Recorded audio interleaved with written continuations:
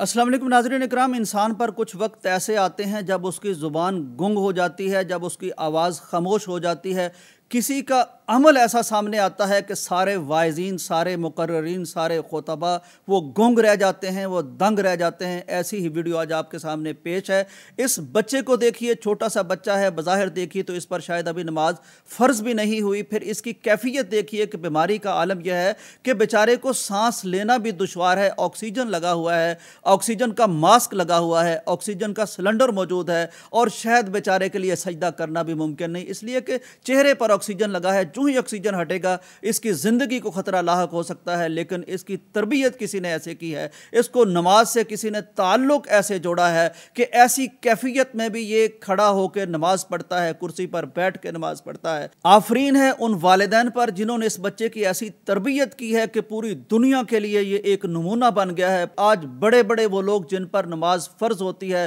جو ساٹھ سال سے مسلمان ہیں چالیس سال سے مسلمان ہیں جوانی کے عالم میں ہیں بہترین نعمتوں میں موجود ہیں، ان کو نماز کی اتنی فکر نہیں ہوتی جتنی اس ننے بچے کو، جس کی مجھے لگتا ہے کہ عمر بھی ابھی فرضیت نماز والی نہیں ہوئی، اس کی کیفیت بھی بیماری والی ہے، ماسک بھی لگا ہوا ہے، لیکن اس کے باوجود جس پختگی کے ساتھ، جس عقیدت کے ساتھ، جس یعنی مضبوطی کے ساتھ اور جس روانی کے ساتھ یہ بچہ نماز پڑھ رہا ہے، وہ ہم سب کے لیے ایک چونکا دینے والا لمحہ فکریہ ہے۔ اگر یہ بچہ اس طرح نماز پڑھتا ہے تو کل حشر میں اللہ رب العزت اگر ہم سے پوچھ پوچھے گا کہ بھئی تم تو صحیح سلامت تھے، نعمتیں تھی وقت تھا، سارا کچھ تھا، تم نماز کیوں نہیں پڑھتے تھے؟ تو ہمارے پاس کیا جواب ہوگا؟ یہ بچہ ایک سوال بن کے ہمارے سامنے کھڑا ہو گیا ہے اور اس کو سوال اپنے سامنے رکھ کے دیکھیے، اپنے آپ پر غور کیجیے اور دعا کیجیے کہ اللہ تعالی ہمیں بھی اس بچے جیسا ایمان نصیب فرما دے، اس بچے جیسی نماز سے محبت اور عقیدت نصیب فرما دے۔ اللہ تعالی ہمیں ایسا نماز کا پابند بنا دے۔ اجازت دیجیے اللہ حافظ۔